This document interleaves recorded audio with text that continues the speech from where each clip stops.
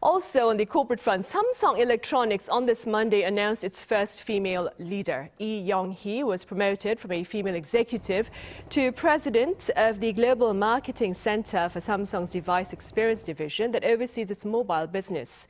She is the first female president within Samsung Group to come from outside the group's founding family. Yi, who joined the company from cosmetics firm L'Oreal in 2007, has been credited for successfully promoting the Samsung Galaxy mobile phone brand.